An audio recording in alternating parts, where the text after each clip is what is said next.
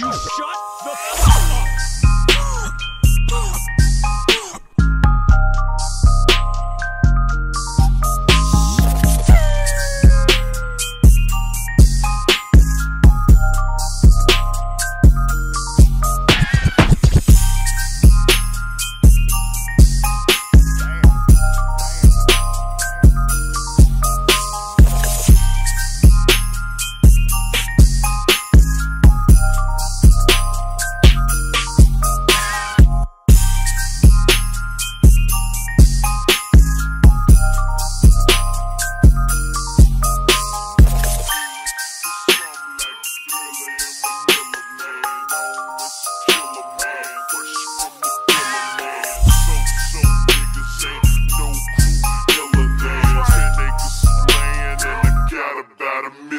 Dollars for the cars and my dollars.